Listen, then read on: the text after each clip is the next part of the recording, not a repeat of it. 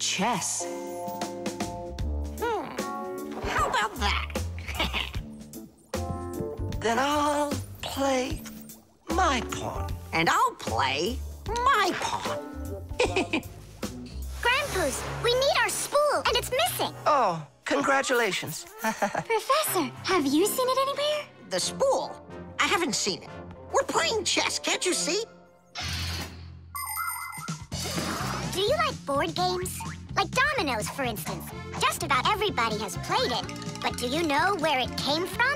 Dominoes was invented by the ancient Chinese. They made tiles and decorated them with dots like on a pair of dice. And this is a game that looks a lot like checkers, but it's a lot more challenging. It's called backgammon. Backgammon originated in Persia, and from there it spread all over the world. But the most challenging game of them all is the game of chess. Chess was invented in India, and today the game of chess is loved in every country. It's played by adults, by children, and even by computers. Chess is a real sport. But the most important thing for playing chess is not the power in your arms, but the power in your brain.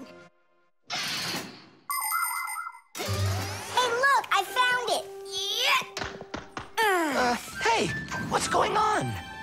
That's our spool. Please let us take it back. There's something we have to do with it. But we're using it. Can't you wait? It's a replacement for the missing pawn. Oh. Oh, Nola can work for a while as the pawn's replacement. Yeah. Ugh. I can do it. All right, you can take it. And you stand right over here. One, two, three, up we go! Class. So how do we play? You're going to play for the whites. And now I'm going to capture your knight. And we... We're gonna knock over yours. Take that. Whoa, whoa, whoa, young man. Slow down. It goes back here.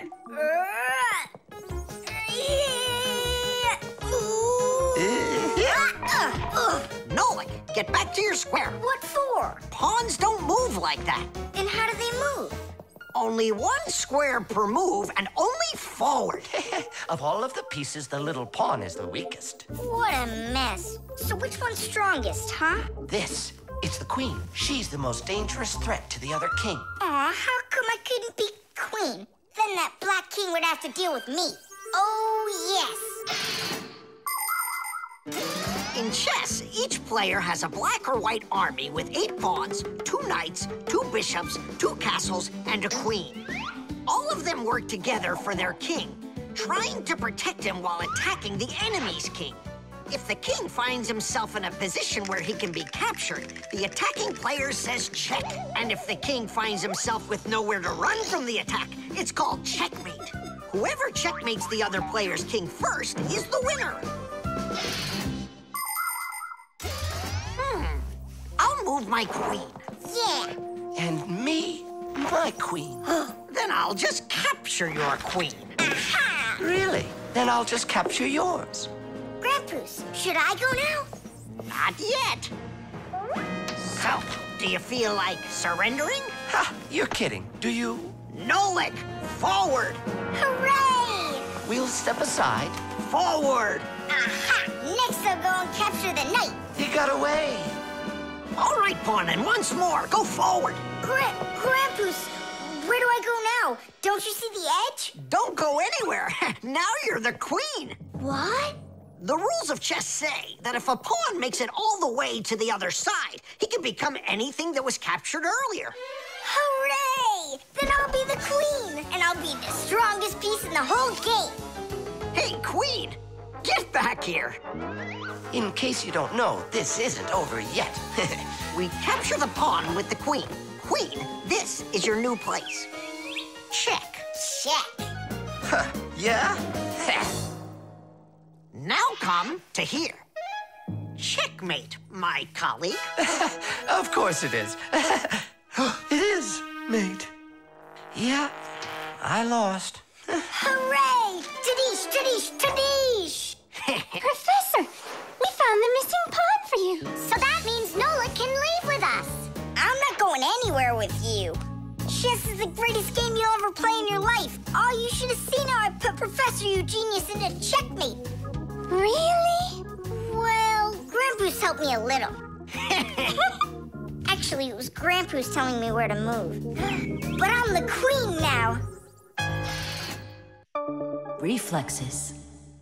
Add this to that. Now what do you get? Ah, three. Don't you remember? Bark, bark, bark. All you have to do is bark three times. That's too hard a trick for Chusaka. Maybe you could teach her to jump through a hoop. Uh, I already tried. She just sits there. Come on, Chusaka, give it a try. Try showing her this sugar. Chusaka. Alley-oop. Come on, jump. See you, Tom Thomas. It's time for us to go to school. See you later, animal tamer. Great job, Chusaka. Our lesson for today is on the subject of reflexes. I'll write it here for you. R. What's the lesson? Hmm, someone's late again. Ah, colleague, my glasses are gone. Are they here? They're right there on your forehead. Ooh, how about that? Forgive me for interrupting. Let's continue our class. And so, Thanks so much.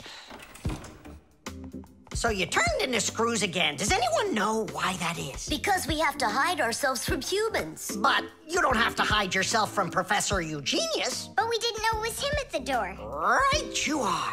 You had already transformed before you had time to think. And that's what we call a reflex. To explain it in simple words, a reflex is when our body reacts to something automatically without needing any time at all to think about it. When we touch something very hot, we instantly jerk our hand back. When we're about to fall, we swing our arms and legs to try to keep our balance. Just imagine what would happen if we started thinking how and in which direction to move them. So it's fair to say that our reflexes help to protect us.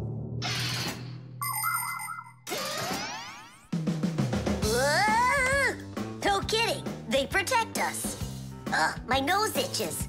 Achoo! Excuse me, I didn't mean it. Professor, uh, sneeze. Is that also a reflex? It most certainly is one. Fire didn't want to, but then his nose tickled and achoo. Mm, bless you, too. Thank you. Uh, uh, And, uh, do dogs also have, uh, reflexes? Of course dogs have reflexes. All animals do. Yeah. It's something all good animal trainers know. They use the animal's reflexes to teach them tricks.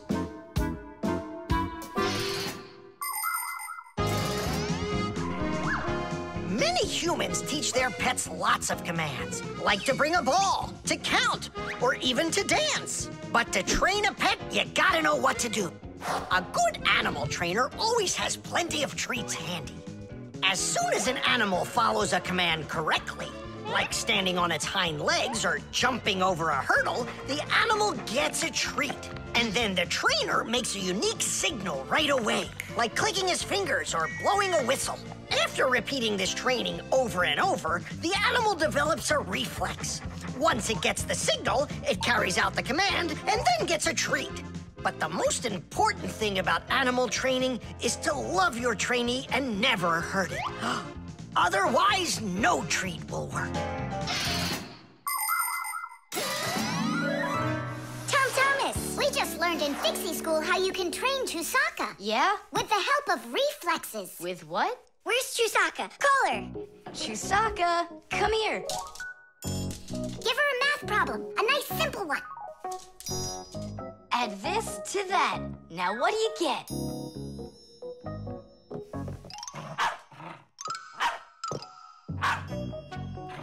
It's a miracle! Three!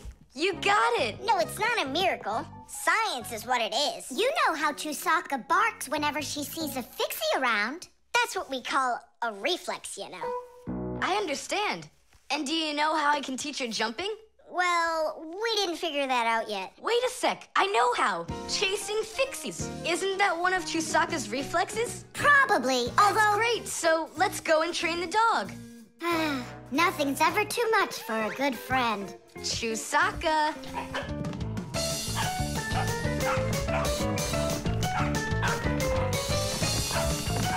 It's pretty tough work being a dog trainer.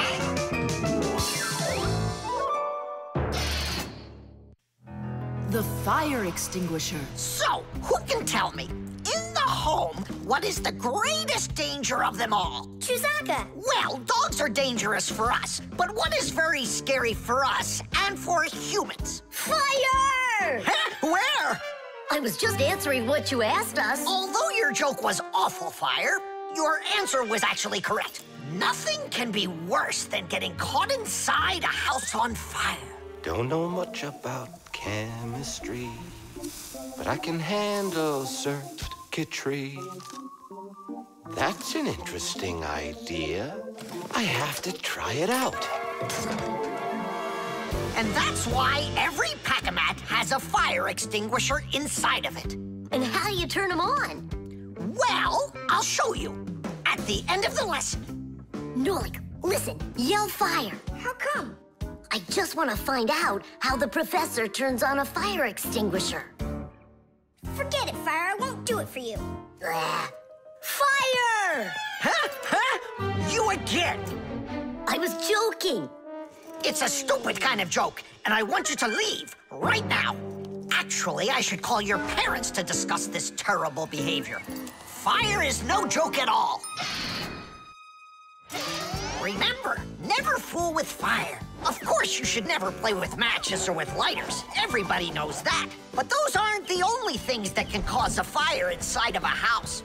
So can a stove or a fireplace. And don't forget electrical appliances like electric burners, space heaters, and irons. If you act carelessly around any of these appliances, they can cause a fire. And we should never forget to take extra special care with sparklers, candles, and fireworks. Sparks can jump off of them and set fire to highly flammable things like paper, wood, or cloth. So, what do you do if a fire suddenly breaks out? That's right. You call the fire department by dialing the number for all emergencies 911.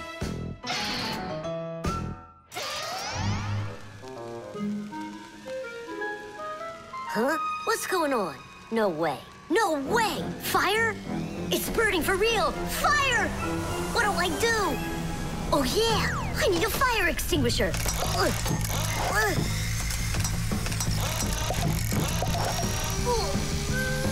Ugh. Where are you? And that's how a Pack-A-Mat can become a fire extinguisher. Do you understand? We understand. There's a fire! It's over there! Enough! You don't know when to stop fire? I'm not joking this time. Please believe me, it's there. Hmm. Nice try, Fire. Oh, look, he even used smoke this time. No, Simka. That smoke's from a fire. Uh-huh. I'm sure that this time it's for real. It's the truth. I swear I'm not lying. This time I think it's true. He's not joking. We've got ourselves a real fire here. Tula, Simka, turn off the soldering iron. Uh-huh. Got it. Be careful, kids. You have to stay back here away from the fire. And what can I do to help? Take out your fire extinguisher.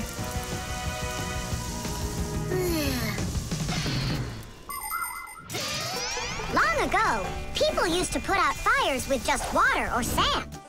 Today, people also use fire extinguishers. Fire extinguishers are cylinders with hoses. They're usually painted red, so they're easy to see.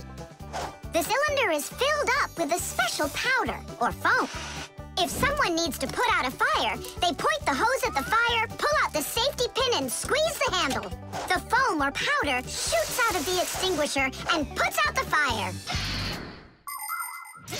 Our fire extinguishers are just too small for this fire. We have to find Professor Eugenius to put it out. I already did. All right, where's the fire? Ah!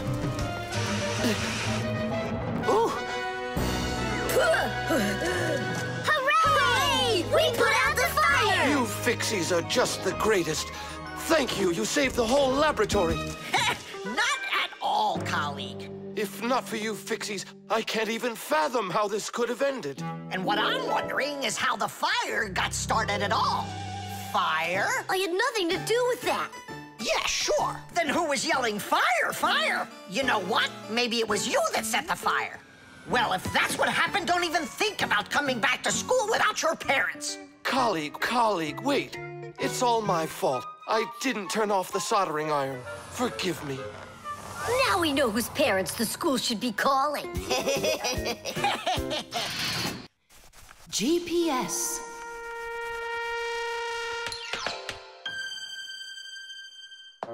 And three, four. Stop. Who goes next? I'm next. Five. One, two, three, three. I gotta choose a route. Should I go here or there? choose already. Nolik, what are you doing over there? Nothing at all. Just waiting at my place. Good, and don't get off it. Well, Fire? What was that? The alarm on my Fixie tab. Oh, our lesson's about to start. Hurry! What about the game? Later.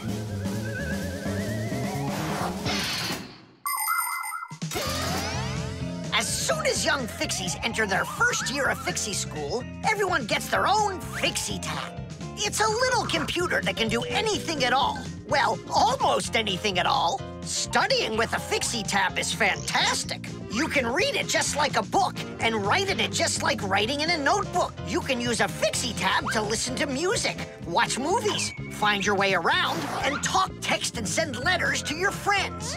And if you want, you can use a Fixie tab to go on to the internet that humans use, or you can visit the secret Fixie internet, where you can find news about the world of the Fixies. And Fixie tabs have games on them too. Of course, these games can be a lot of fun, but you shouldn't play games until your homework is all done.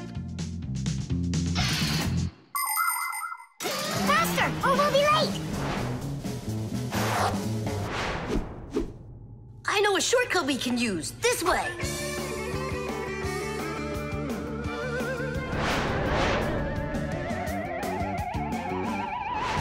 Now which way do we go? I need to remember the route. I think it's this way, or it could be that way. Well, which is it, this or that? Uh, I have no clue. Uh-huh. So what's our plan? We'll go back and start again. We flew in from there, right? No, I think it was there. That's not how we flew in. It was there.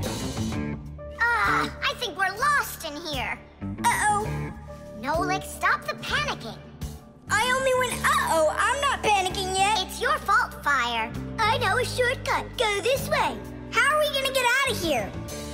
How do I know? All I know is that we're late for our lesson. Thanks to someone. It wasn't on purpose, I swear. Now Grandpus will punish us. What's going on? Well, I think I found a way to get out. Which way? Right here. I forgot that inside of my Fixie tab is a GPS navigator. Class. Uh, what's a navigator? A GPS navigator is an interactive electronic map that can help you find your way around. The navigator can figure out where you are by using signals that are sent to it from satellites. All you have to do is type the address of the place you want to go into it, and the GPS can figure out a route to get you there. And then it helps you as you go by telling you where and when you need to turn, so you can easily get to your destination. Let's see. Right now, we're here. And where do we need to go? you know where to school. But where is that? Are you joking? In the laboratory of Professor Eugenius. Can you be quiet? Where do you want to go? The laboratory of Professor Eugenius. Please wait while I chart out the route. Ha! It did it! the navigator says to go there.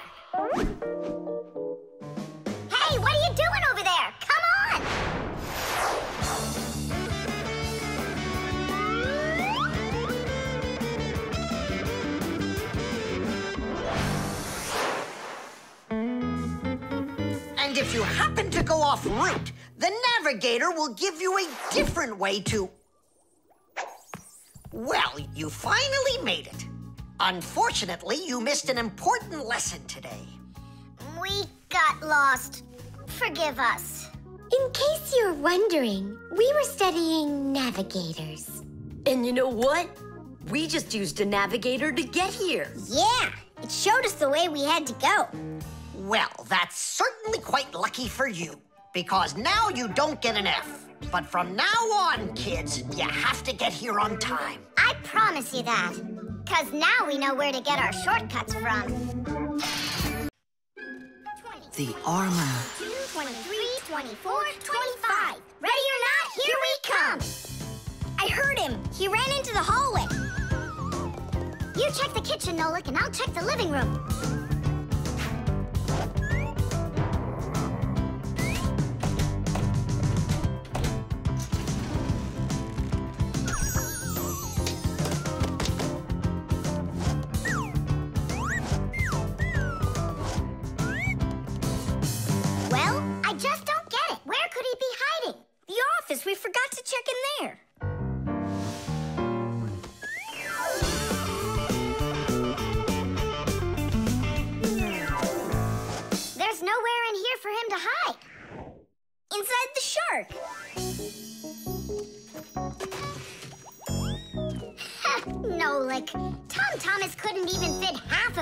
Inside of that shark.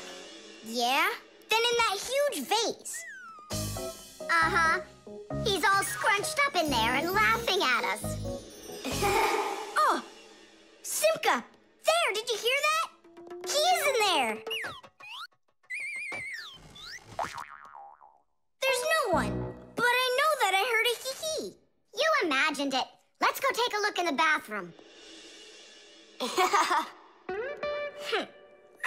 Imagined it. It's so stuffy inside this armor.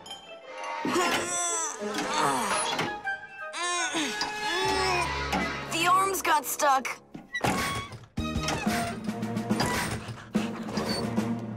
Where else could he be? Oh, who is that? Ah! Simka the knife! He came to life! Well, how much longer are you gonna look for me? Armor is very hard clothing worn by warriors to protect them against swords and arrows. People started making armor in ancient times, but the full body armor that knights wore didn't start until the Middle Ages. The armor worn by knights on horses was heavy. It could weigh a hundred pounds, and if a knight got knocked off of his horse, he'd need help to get back up again. By the way, the knights' horses, they wore their own heavy set of armor for protection. Hey, did you turn into statues? Tom Thomas? Is that you in there? Who else? Lift up this visor, I can barely breathe. and how come we should do it? Cause I can't. Don't you see? My arms got stuck. We see. you look funny. Funny to you, but now I'm stuck and I can't get out of here. Come on, help me out, please. Just what we need right now. Chusaka, what's wrong with you? It's me. Hey, stop it.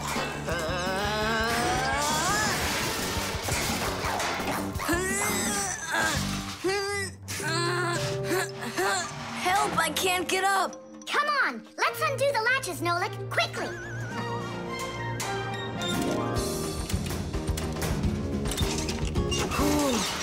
Thanks for helping me. It was nothing. I couldn't have done it without you. Let's put the knight back together. Uh-huh. Before Dad gets back. Protective clothing isn't just for people who are fighting in battles. Travelers put on special nets to protect themselves against mosquitoes and gnats.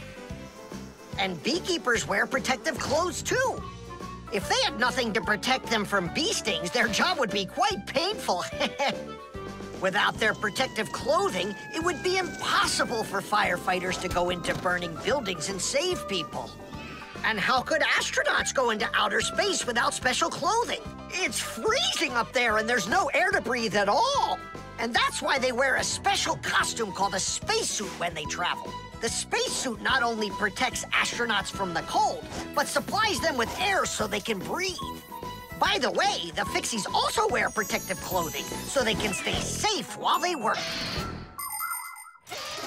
Well, there. Did we get it right? It looks like we got it right. Only, where's the helmet? Nolik went to get it. Tom Thomas, helmet delivery! Thanks there, Chusaka. Whoa there, Warhorse. Calm yourself down. There we go. It's all back in place again. Too bad that your knight looks like a ballerina twirling around. You see, his arm. Ugh, I can't move it. It's stuck. Here's what we'll do. Give him something to hold.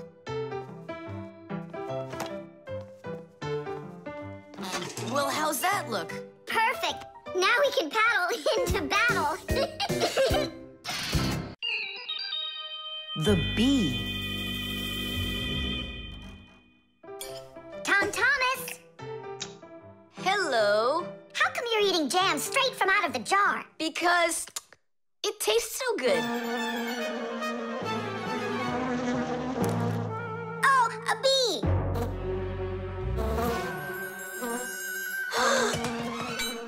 Shoo, get out of here. Leave it alone. It's just a plain old bee. Well, I was bitten by one of those plain old bees once. Ugh, Tom Thomas, don't do it. go away, you pest. Flies are pests. Bees are very helpful and useful. How can a bee ever help us out? Bees are hard workers.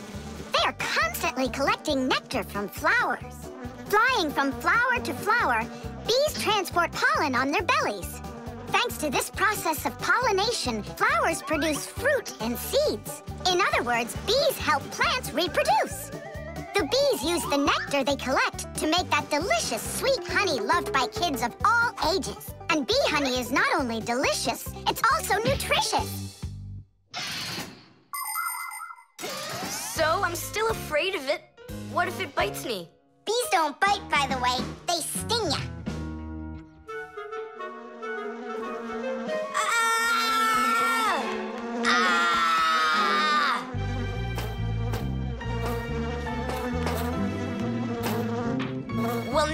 Gonna show ya. Don't! The bee's the one who should be afraid, you tyrant. Yeah, you let it go, tyrant. Why are you calling me names? Who's stopping her? She can fly away if she wants. We need to show her the way out. Well, how? Here, little bee. Fly this way. Why don't you try going? Then what can I say?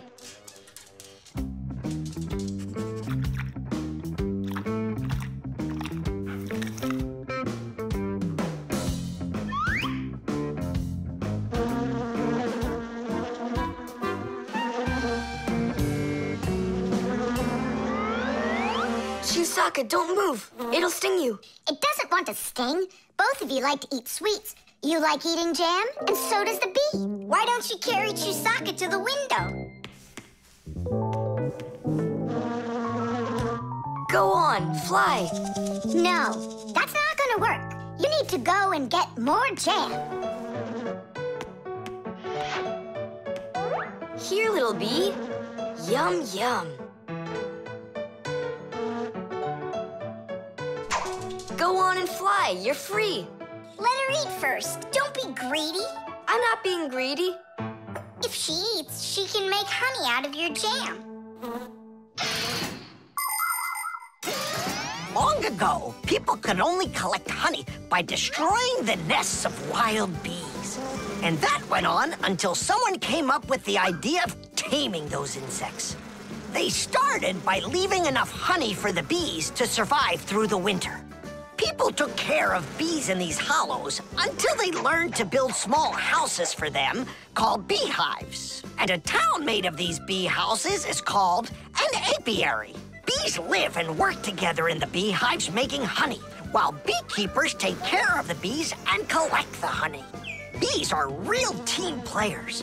They tell each other where the best flowers grow. Do you know how they do it? One of the bees does a dance. And then the rest of the bees watch the dance and learn where they need to fly. You poor thing. Tom Thomas tired you out. I told you there's nothing to be afraid of. You see? She's just so nice and kind. I'm not afraid of her. She wouldn't let me eat my jam, that's all. Well, now it's time for you to fly away. Uh, whoa! She's playing rough here. I want to try. Uh-uh, Nolik. You're too little. You'll have to grow to do this job. Whoa, whoa, whoa. Calm down now. Now let's fly. Hey, Simka, the window's back there. I can see that without you. So how can I get you to turn around? Cool! Hooray! She's listening to me! Woohoo! Don't miss the window. Now! So long, honeybee! Tiddish! Tom Thomas, do you have any more of that jam left? Yeah. What for? Bring it here. We'll get more bees to fly in. How come? What do you mean, how come? Because it's my turn for a bee ride. The kaleidoscope.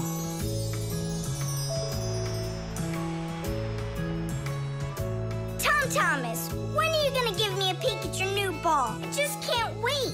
told you. You can see it as soon as I hang it up. You're not peeking, are you? No, I'm not. Oh, So can I look at it now? sure. Take a look. Which one? This one. you broke it. It's okay. Don't be sad.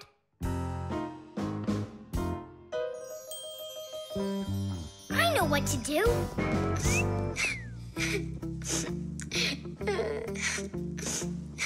Tom Thomas, look inside the kaleidoscope. What for? I looked already. Come on, there's something in there I'm sure you've never seen. Whoa. cool, isn't it? What is it? It's my own invention, a pirate kaleidoscope. Laughs, right? Uh-huh. It's great. I really like it. Tom Thomas, hi there. I heard that you got a pretty ball to hang on the tree. Shh. Can I see it? It's right there. Where? There. No. Oh, that's just terrible. Why'd you do that, Simka? Come on now, I just cheered him up. How? Tell me. With the kaleidoscope, remember what Grandpus taught us? Do you know what makes a kaleidoscope have such beautiful patterns? Ah, it's because pieces of multicolored glass are tumbling around in there. And it's also because it has mirrors inside. Usually there are three of them, and they are arranged facing each other. That way, each piece of glass makes many, many reflections that create the kaleidoscope's beautiful symmetrical patterns. By the way, you can put just about anything you want inside a kaleidoscope, and each different thing makes its own special pattern. Yes, there are all kinds of kaleidoscopes. Some with buttons inside, some with flowers, and even some that are filled with insects. Once, a very rich man had a kaleidoscope made with precious stones inside. yeah, it probably wouldn't have been nearly as beautiful if he had just filled it up with money. Tom Thomas, look inside the kaleidoscope. I already saw it. It's pirates. Nah, it's not about pirates. We changed it. Go on, look and see. Wow. You like it? A lot. Hey, what did you put in there? A few pieces of the ball that you smashed. It's even better for Christmas, isn't it? Mm-hmm. Ah, that didn't work at all. Merry Christmas! We came to take a look at that splendid new Christmas. Oh, what's What? wrong? Ugh, don't even ask us that. I've got it.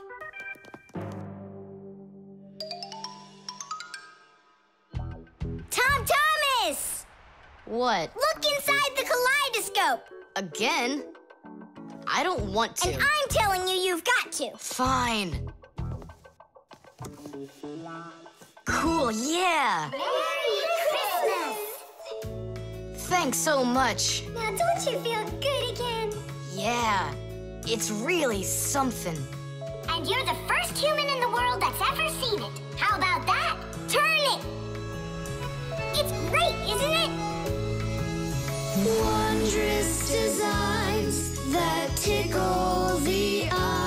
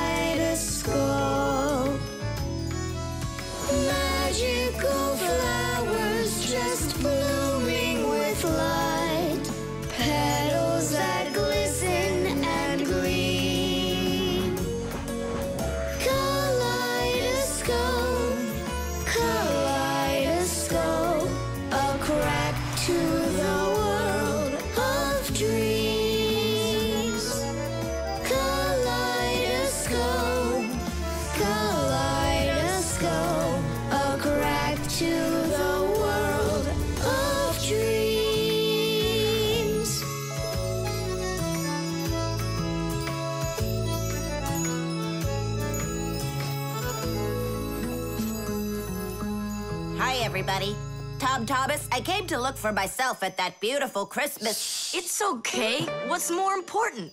Having such awesome friends? Or some ball hanging from a tree? The video call.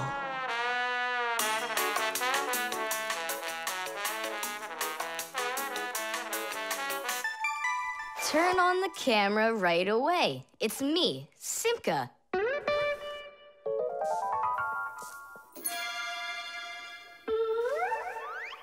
I expected. Nolik, why aren't you in school? School? It started? No, but you'll be late if you don't hurry. I'm on my way. Simka, is that really your fixie school?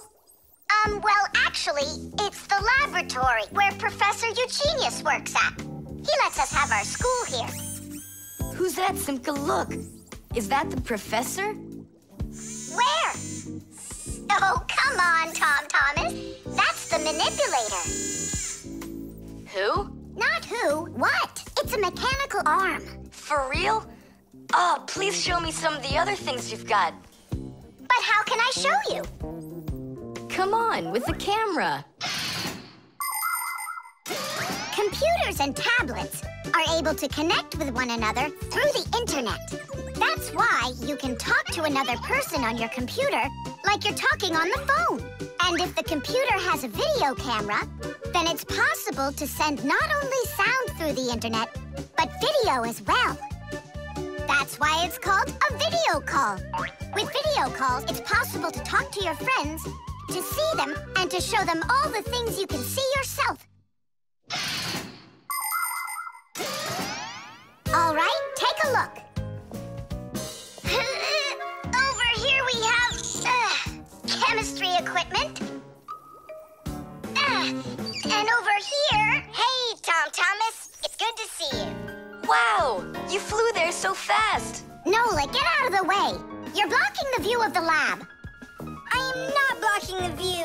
Stop it! Go away! You go away. You. Tom Thomas, what are you watching?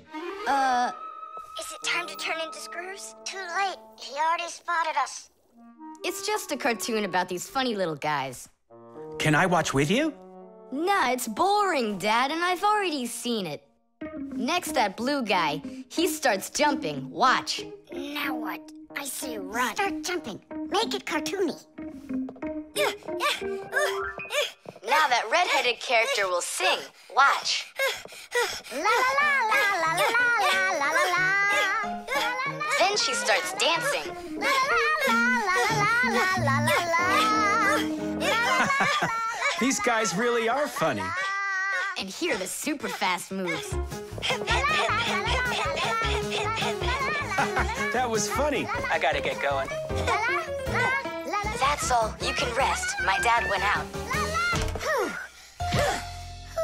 I'll get you, Tom Thomas. What are you doing over there, huh?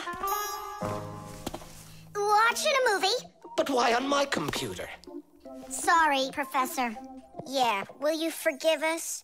So how is it any good? Uh-huh. It's a super funny one. Really? Yeah. You see that boy there? He's gonna start waving his arms around like a maniac.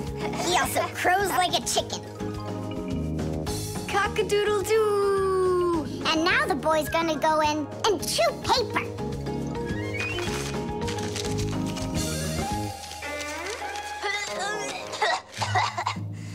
I can't do this all at once. Hmm. A movie. That's what we're watching here, right?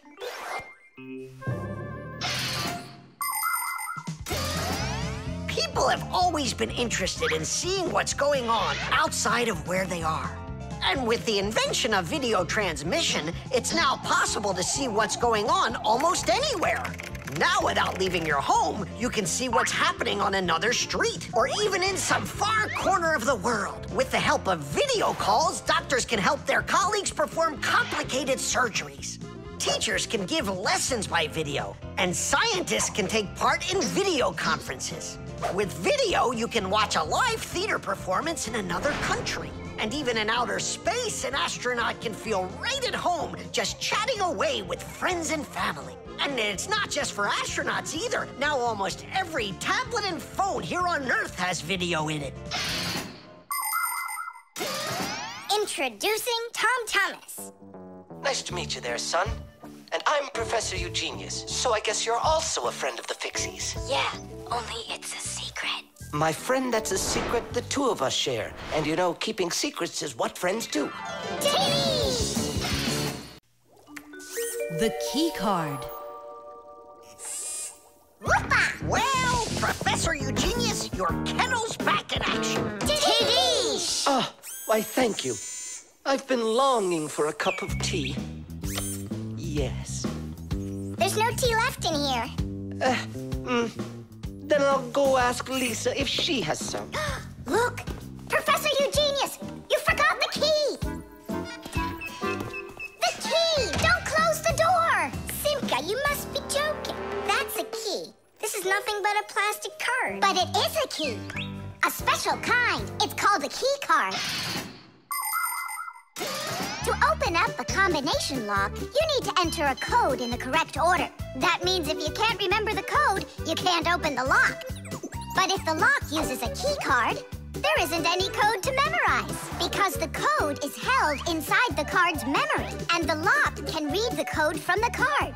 Of course, key cards don't work with any lock. They have to be smart locks that are able to read electronic codes. When the smart lock reads the correct code, it opens right up.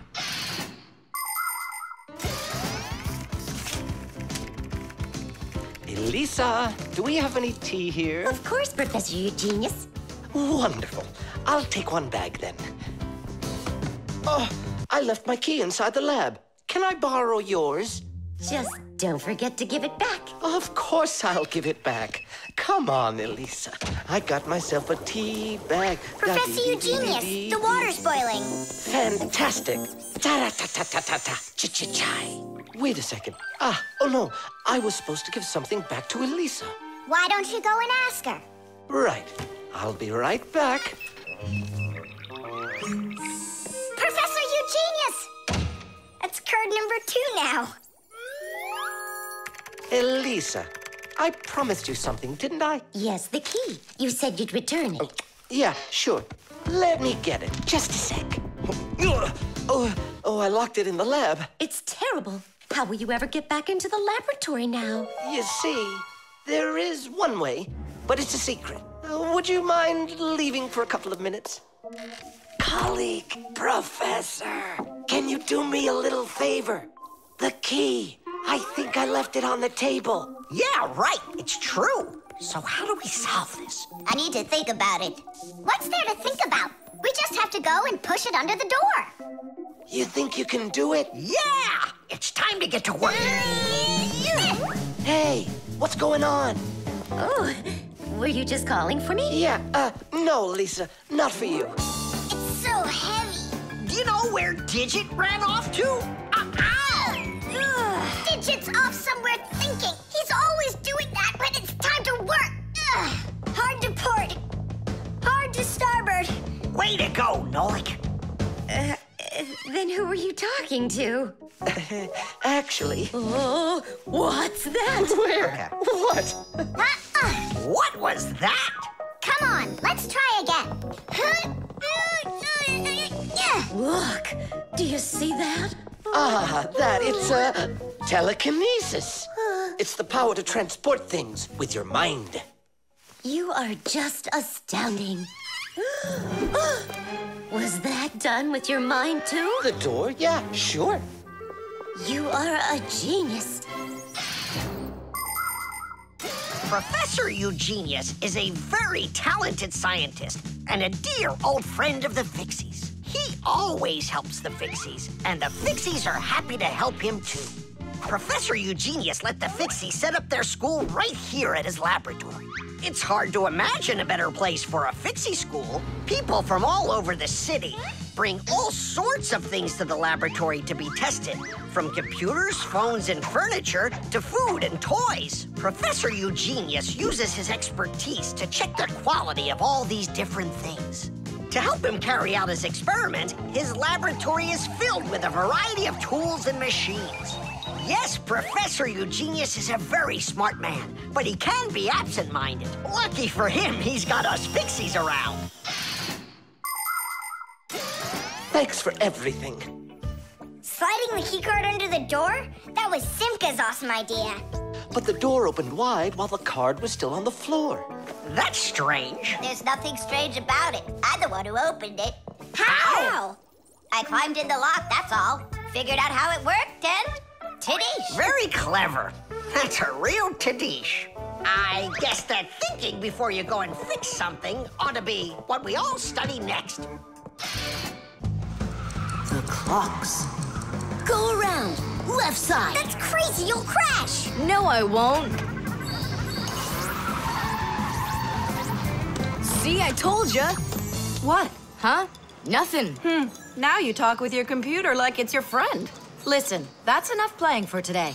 Oh, Mom, just a little more. I'll give you half an hour while I cook dinner, and that'll be enough for today with a computer. Uh.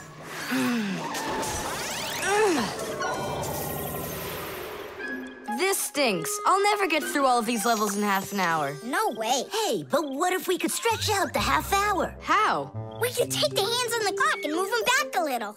Mom will catch us. Fine, then let's slow down the speed of the clock. Yeah, But how? You gotta know things like that. Since olden times, many clocks run with the help of a pendulum. The pendulum controls how fast the hands of the clock turn. If you make it longer, the pendulum will start to swing slower, and the clock's hands will slow down. If you make the pendulum shorter, the clock will tick faster. Most clocks that are made today don't use pendulums. They run with the help of springs or with an electronic chip instead. But even so, there are ways to change the speed of these clocks, too.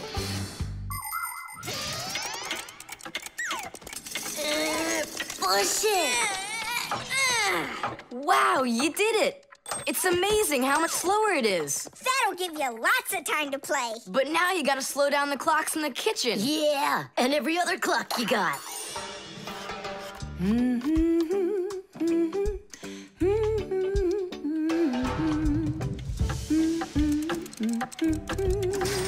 I just have to turn this to make the pendulum longer. Uh-huh. And now the clock will go slower. Tadee! Fire! Now that clock over there. Let's go do it. That's it! We slowed down every clock, and your mom didn't see a thing. That's great. Yeah, yeah, yeah, yeah. Wow, Tom Thomas, you're cool! Amazing!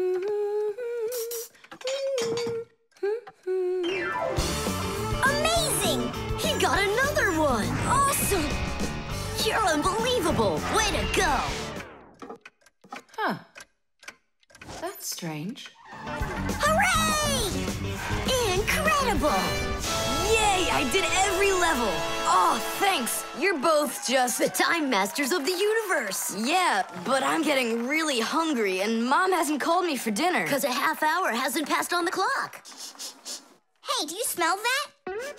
Something is burning. What happened? A fire? I don't get it. I was just waiting for 30 minutes like I always do, but everything burned this time. Maybe the clock stopped? No, take a look. They're working. Oh, I'll make you some oatmeal. Oatmeal for dinner? Mom, I need to, uh, I'll be right back. You see what you've done? Time Masters of the Universe? You gotta go speed those clocks back up. Okay, okay. We'll speed them up. They'll be caught up in no time. Humans have come up with lots of different ways to measure time. For example, if you stand a stick in the ground, you can measure the time of day by watching where its shadow falls. That's a very simple clock called a sundial. Another simple and ancient clock is a water clock. It keeps track of time by measuring how much water has poured out of it. And if the clock uses sand instead of water, it's called an hourglass. But humans weren't able to accurately keep track of the time until they invented mechanical clocks. They come in all sorts of sizes, from grandfather clocks to watches worn around the wrist. Today, we also have easy to read and accurate electronic watches and clocks. But the most accurate clock of them all is the atomic clock. It tells the entire world the exact time.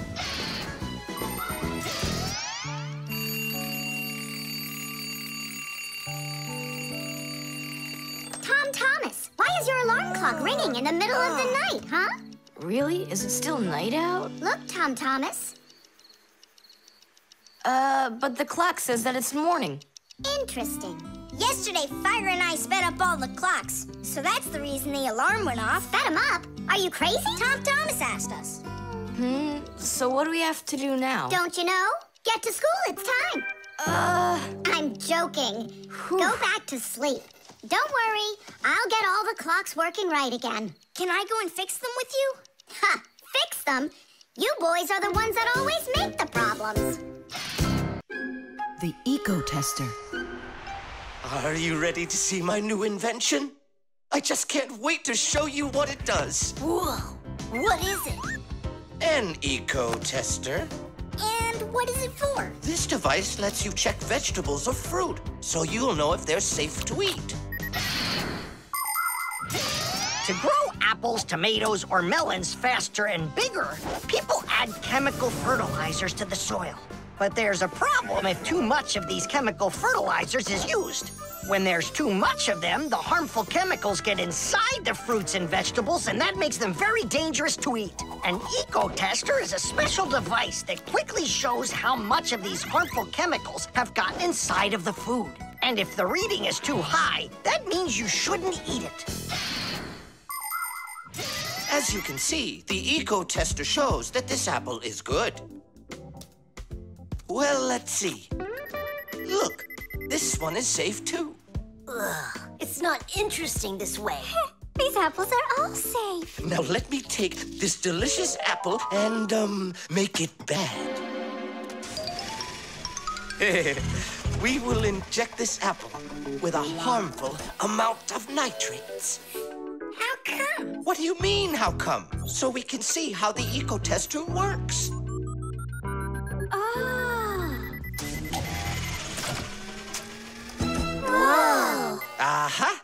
So you see, the eco tester clearly shows this apple is poisonous and can't be eaten.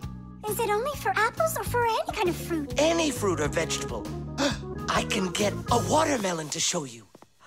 Could it really be true that watermelons can have nitrates too? Of course they can have nitrates. Humans often act without any concern for nature. The waste from factories, airplanes, cars, and cities causes tremendous damage to nature. Species of plants and animals disappear. Air, water, and soil become polluted. And many other kinds of ecological problems appear. And humans shouldn't think that ecological problems are just nature's problems. Because when humans harm nature, they are also harming themselves. People breathe in the dirty air, drink polluted water, and eat food grown in soil contaminated with chemicals.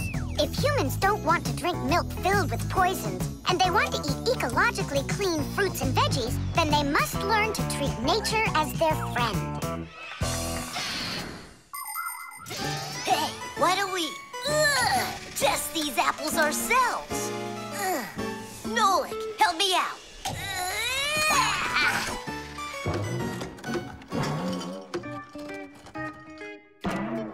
Oh, it rolled away.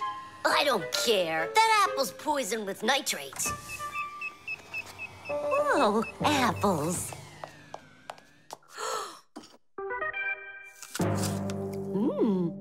Elisa, don't eat that. Oh, Lisa, Lisa, Lisa, stop. Uh, please sit down. What? You bit into it? Yes, and what? Oh no, it's poisoned. What? Do you have trouble talking? Oh, yeah. You feel faint? Oh, I'm fainting. Elisa, hang in there. What? There's no poison in that apple she ate. Oh, my assistant. Oh no, I've poisoned her. Oh, oh, Lisa, please. There was no poison in that apple. Oh, oh no, he didn't hear us. What should I do? I know how to make him hear. Hello? It's an emergency. It's a case of, of poisoning. Not me. I poisoned someone. Yes. with an apple. Fire! I mean, poison! Oh! Professor, this apple has no poison in it. The bad one rolled away onto the floor. Did it really? This is just fantastic news. Can you see me, Elisa? I can't see anything. How's that? I see you. I can see you. I can see again. I have great news. There's no poison at all in this apple. Are you sure? It's perfectly fine. Here, take a look. The eco tester shows that there are no harmful chemicals inside. It's wonderful news. This is one excellent apple and nutritious. This appliance of yours is simply wonderful. Now she'll say he's a genius. Professor, you are a genius. Thank you for saving my life. Oh, it was nothing. Actually, it was Nolik. He saved her life. I did? Dropping the watermelon was your idea, wasn't it? Ah, you're right. I saved her life. The manipulator.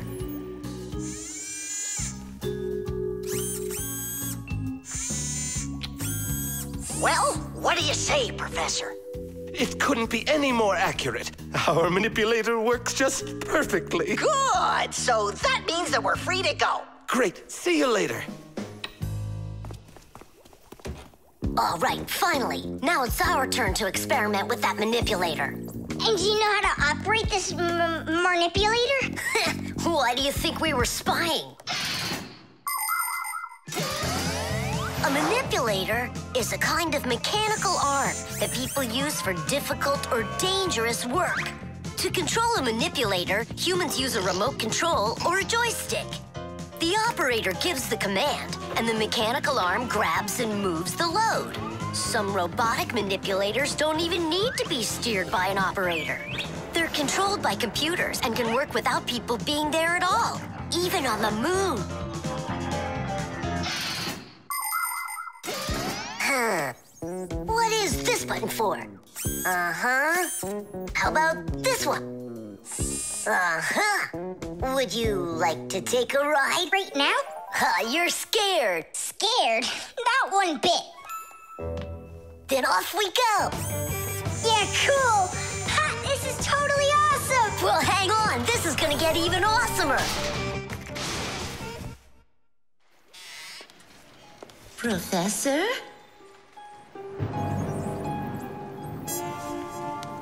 Hmm, strange. What made this ladder just fall over? Ah! Am I crazy? Or is someone here? Oh, calm down. Calm down now. Poor Elisa. Yeah, you're completely overworked. Whoa! Who's here? Achoo! Hang in there, Nolik. I'll get you out of there.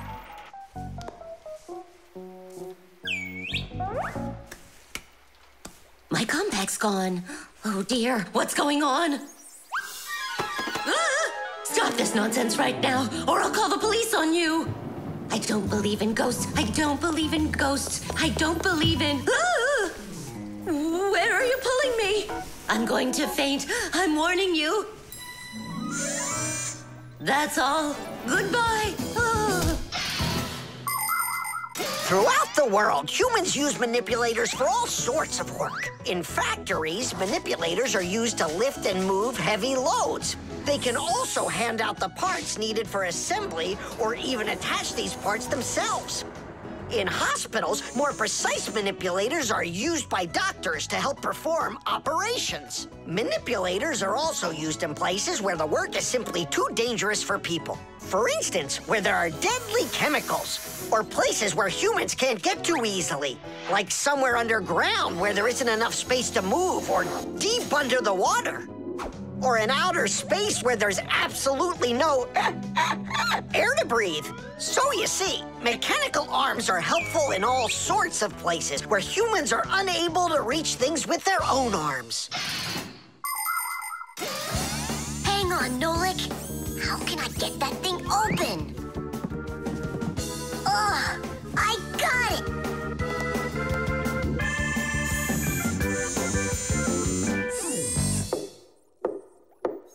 Yes? Who's there? Ah! What's going on? Achoo! Ah, ah, no, Nolik? What are you doing in there? Achoo! We just took a little test flight. Is this yours?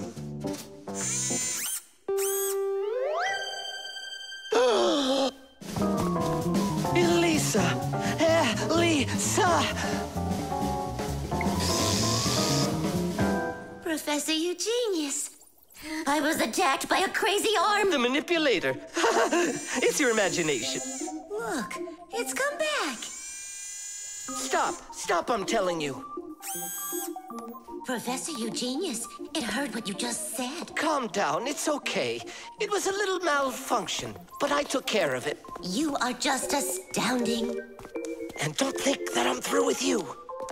With me? With you? no, no, with the manipulator. Let's go, Elisa. Yeah, let's go, Professor. Great job, Fire. And why fire? The instructions. Oh, oh. Hmm, it doesn't work. Try putting it in the other way. Did you read the instructions? Why would I? Instructions are for dummies. Yeah, instructions are for dummies. All right. Oh, what's going on? Whoa! My battery! Instructions teach us how to do things right. Instructions for a piece of furniture explain how to put it together. With the instructions for a television, we can adjust the picture and sound the way we like them.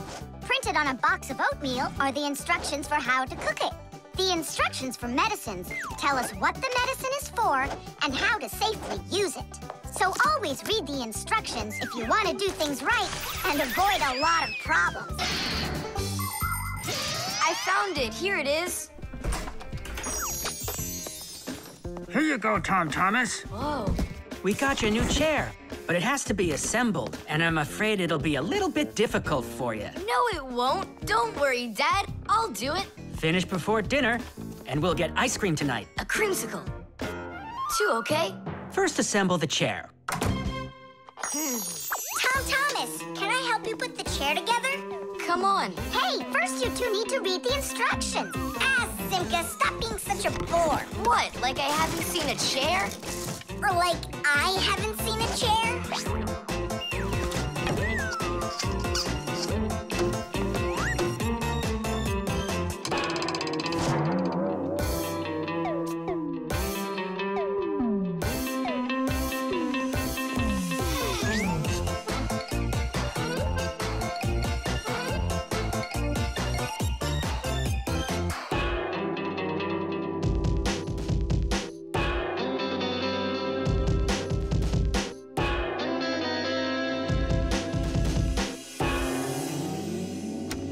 Tom Thomas, you done? Dinner's ready. Let's go. Oh, Dad, no. I need another two minutes. Hmm. Simka, help me. How? What does it say I have to do in the instructions? Ah, I thought you could do it without him. Ah, all right, I'll help you. Let's see. Take this part over here and that one over there. Nola, get a screw. No, the longer one. It's over there. The very first stools and benches appear as far back as ancient Egypt. The pharaoh's stool was special because it had a back. It is thought that the pharaoh's stool was actually the first chair. For a long time, a chair was considered a luxury. Rich noblemen would bring their own chairs to parties. And the more important the man, the higher the back of his chair. It wasn't until the 19th century that chairs became part of every house. Today, there are just so many different kinds of chairs. There are wooden chairs, plastic chairs, metal chairs, chairs with legs, chairs with wheels, folding chairs, baby chairs, just all sorts of chairs. Well, how could people sit down at the table with no chairs? Ooh, I think we'll make it. Screw it in, quickly.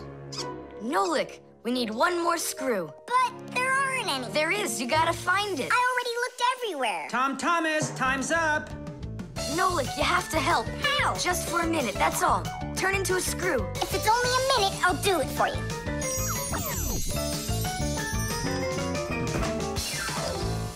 I'm done. You built it. Huh. Great job, son. Mom, see how I won the bet. Can you believe it? He put the chair together. You're so brilliant. Go on, have a seat. Oh! Huh? Ah.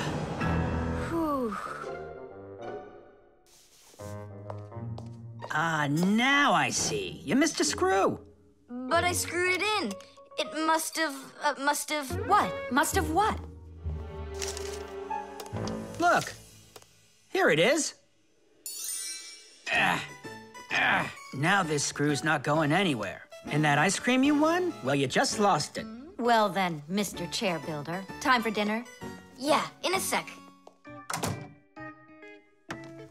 Where is that Nolik? He ran away. What a traitor. No, he's not. He promised you he'd become a screw for just a minute. And the minute was up. Well, where is he then? Over there. He's studying the instructions for the clock. Hey, Tom Thomas, it says that we put the wrong kind of battery into the clock. We should have used that kind. You see, Tom Thomas? If you don't want to be a dummy, instructions are for you. The oven.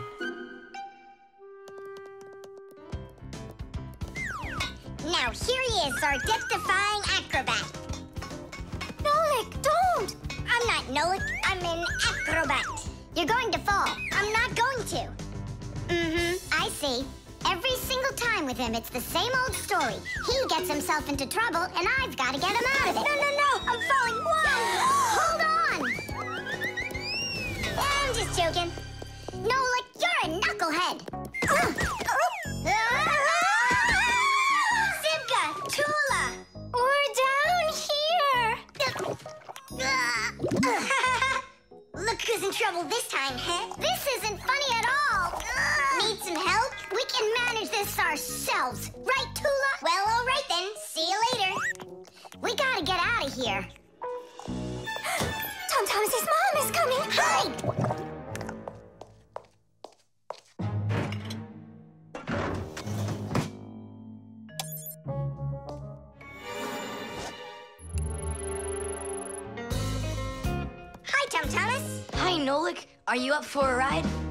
Train's leaving the station.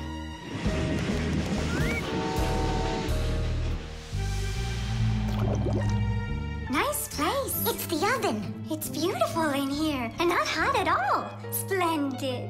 It isn't hot right now because it only started warming up. An oven is a cabinet with a heater. It can get so hot inside that it'll roast whatever's in there. As a matter of fact, that's what ovens are for. People roast meat inside of them and bake things too. Some ovens burn gas for heat and others use electricity. They have special electric coils that get red hot and heat everything that's inside the oven. So be careful around ovens. A hot oven can burn you very badly.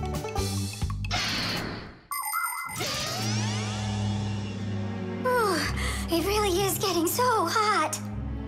We gotta get out of this oven right away! Simka, we're about to get roasted in here. Yeah, inside of a fresh baked fixie cake. I don't want to. You think I do?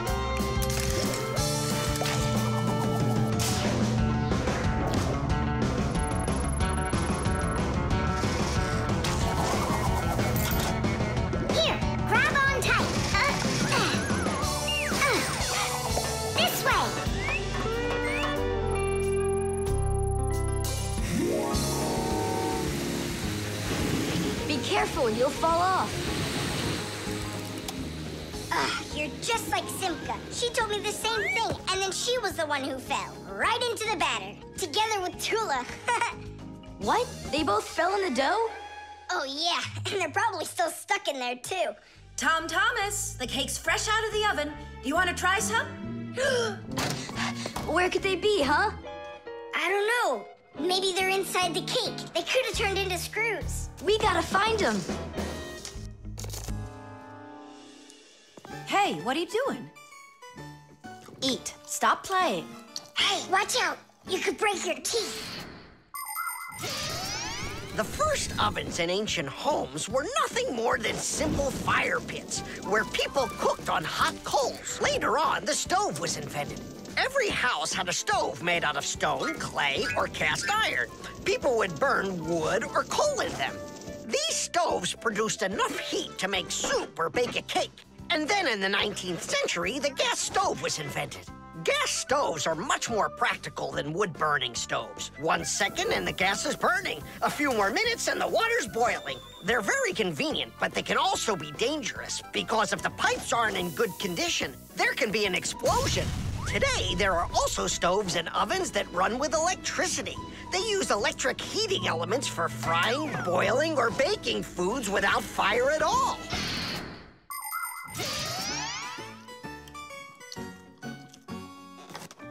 Tom Thomas, I think you'll explode. But it's so incredibly good. I just can't stop eating it. Hmm. Keep chewing, Tom Thomas. Uh, that's as much as I can chew. Hey, what are you guys up to? Uh, up to? We're trying to save you. You're not in the cake? Then how come I was eating all of this? I hate cake. Hmm.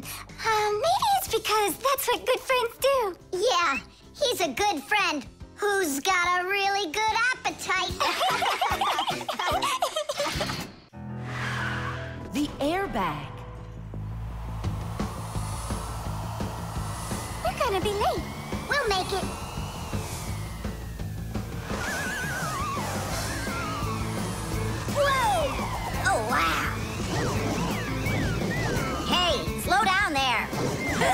I'm a super duper racer.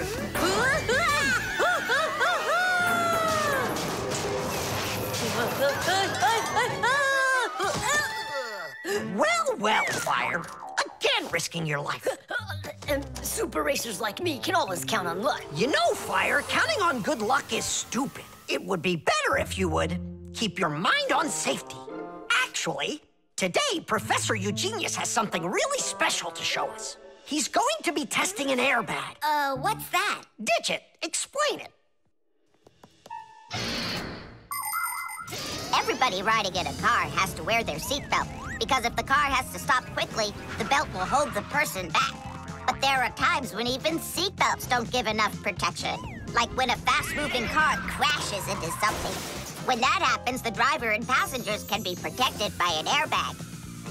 You can't see them when they're folded up because they're hidden, but if the car is in a crash, the airbags blow up very quickly, and the person bumps into the bag instead of banging into the steering wheel or flying through the windshield.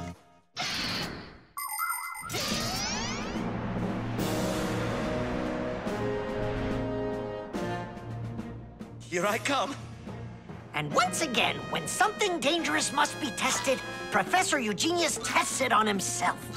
But Grandpus, aren't you scared that it won't blow up with air? Don't worry about the air. A three, and a two, and a one.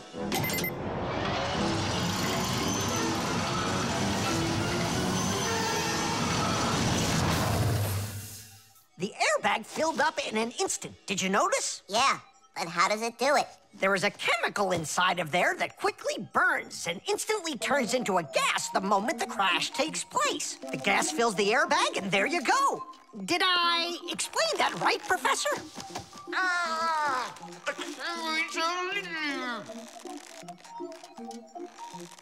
We've got to get him out. Stop! We'd better call for help.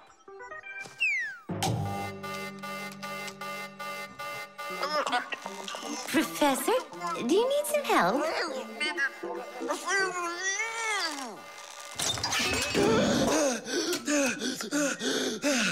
Thank you, Elisa. Sorry to take you from your work. You're free to go. Professor, how did you manage to press the button from way over there? Uh, I managed to hit it on the fly. You are just astounding. Small children safe while they're riding in a car, they must be buckled up with a seatbelt inside of a special booster chair. But kids also need to be careful when they're riding a bicycle, skateboarding, roller skating, riding a scooter. First of all, it's best to keep off of roads where there's too much traffic. Second, put your protective gear on. For your arms and legs, wear elbow pads, gloves, and knee pads. For your head, wear a helmet. That way, if you fall down, you won't get badly hurt. And third, make sure that people can see you. If you're out riding in the evening, your clothes and bike must have safety reflectors on them. They let drivers see where you are by reflecting the light from their headlights back at them. Remember, better safe than sorry. Here we go. Well, I hope this time I've got it. Should we call his assistant right now, just in case? Let's just wait and see. Ready, set, go! Grandpus, he needs to be rescued. Uh, no need. I made a change to it.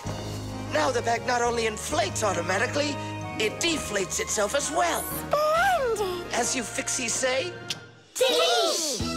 Today's lesson is done. Hooray! Come on! Where's my fixie board? I've got your fixie board, Fire. Here you go. I just went and equipped it with an airbag. Really? Ha! How come?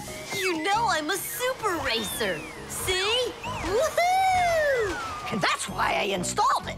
Super racers don't need airbags. We never, never, ever,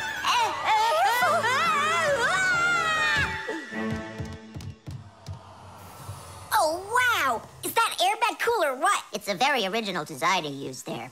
That design is my own, and Fire ran the test. Professor, will you make an airbag for each one of us? You all will get them real soon.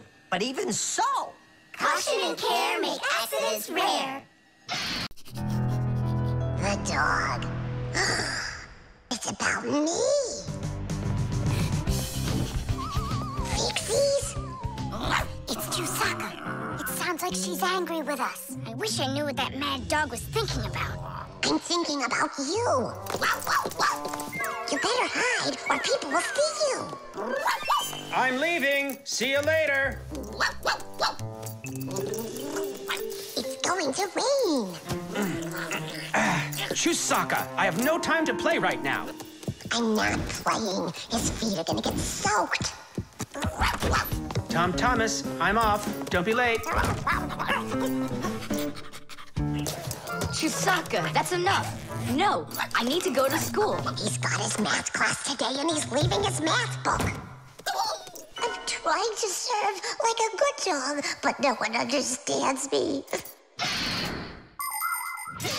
dogs have been serving people since ancient times, along with cows, horses, chickens, and other domestic animals.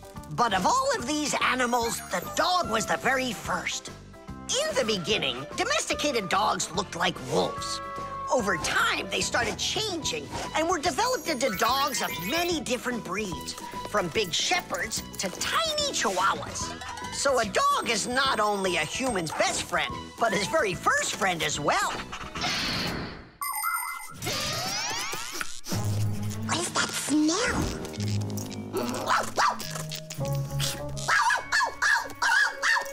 Simka, come on out. I see you. Nolik, jump down. Oh no, we're trapped in here. Alert, something's burning over there. Why won't they listen? I think she's going to eat us. Together with the box.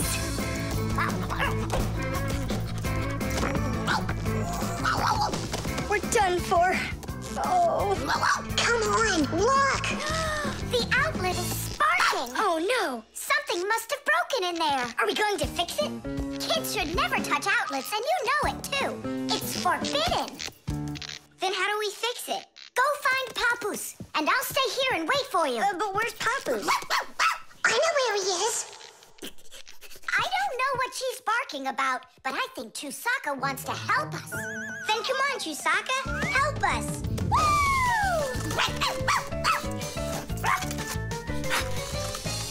He's in there. Papus, Papus. Nolik, is that you?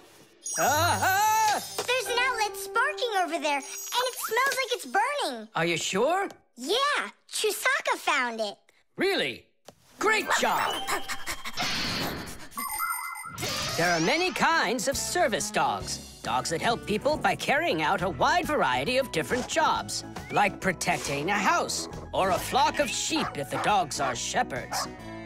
Some working dogs help guards protect their borders, while others work for the police.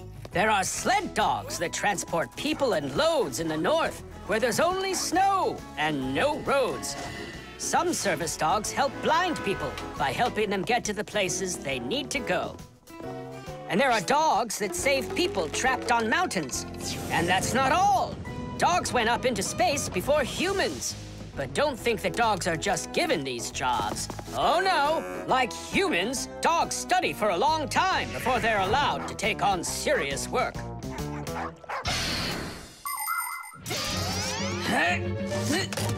Ah, that's all. There won't be a fire. Not today. Hooray! Well done, Chusaka. You're a real service dog, no doubt about it. Yeah, I'm working. I'm a real service dog. Uh, Chusaka, go away. I've had enough of you already today. Don't say that, because this working dog just saved your house from burning down. What do you mean? She smelled smoke coming from the outlet. It could be that Chusaka means well and wants to do the right thing, but nobody understands her. That's a bit hard to believe. Then what's this book?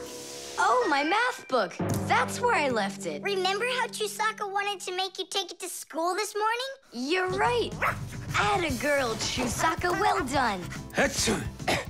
What a rain. My feet got wet to the bone. But this morning, Chusaka tried to get you to wear a different pair of shoes. Hmm, that's something.